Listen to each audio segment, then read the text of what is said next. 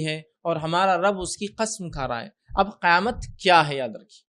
क़यामत क्या है?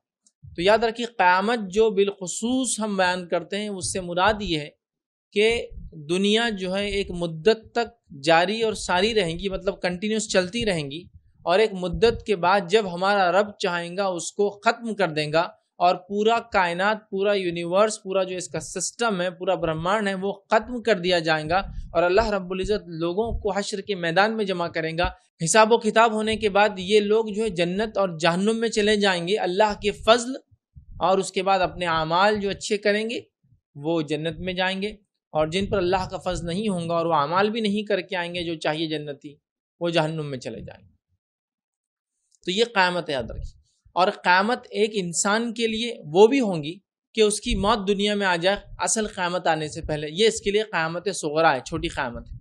मतलब एक इंसान अगर दुनिया में आ जाए, मैं और आप, और अगर हम, मैं और आप मर जाते तो ये मेरी और आपकी क़्यामत है।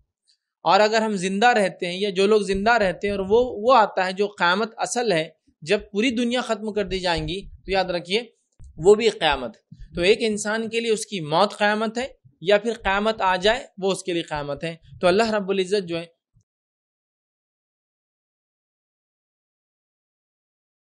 वालेकुम। आप भी हमारे इस काम में ताउन करें, अपनी ज़कात सदक़ात के ज़रिए। डोनेशन डिटेल्स के लिए डोनेट पर क्लिक करें। अगर आपको हमारे वीडियो पसंद आए हैं तो इसे शेयर करें और सबके हकदार बने। रोज़ाना हमारे वीडियो को पाने के लिए हमारे यूट्यूब चैनल को सब्सक्राइब करें और बेल आइकन दबाएँ। हमसे दिए सोशल मीडिया पर जुड़ने के लिए वीडियो में दिए गए आईडी को सर्च करें। जजाकल्लाह।